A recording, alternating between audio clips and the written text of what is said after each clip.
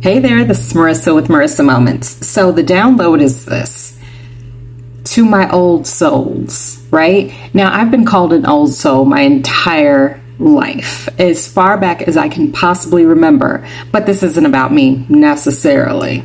This is more so about you because you've been referred to it as an old soul, and you're kind of like, well, I kind of get it, I kind of don't. Well, the download I receive is actually that old souls are simply divinely connected to their ancestors, right? And that's why we come across as being a lot older, maybe more mature, or just say random things, right? Because we have that divine, that innate divine connection to those that came before us. So oftentimes you may even say things that maybe a previous relative that whether you've met them or not used to say all the time or you have similar mannerisms or different things like that, especially as it relates to obviously older generations, right? Now, the other key point to this is that what I receive is that you are essentially the chain breaker, the the waymaker, and the change bringer, right?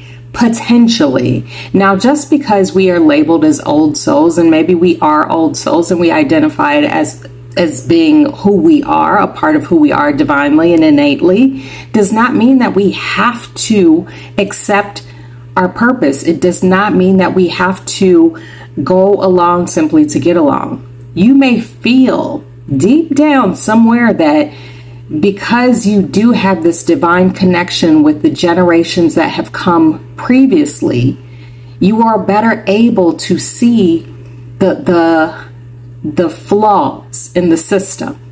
You are better able to understand that just because you've always done something a certain way doesn't mean you should continue a certain way because you have that aged wisdom.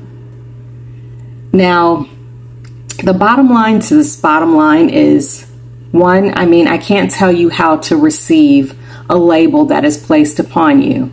How you perceive it is how you create your reality. You can either allow it to bring you down or you can allow it to empower you. And I'm here to empower you because the, the bottom line again is that if you're an old soul, you have key backstage VIP information that those that want to call you names wished they possessed. And it's just natural for you. So use it.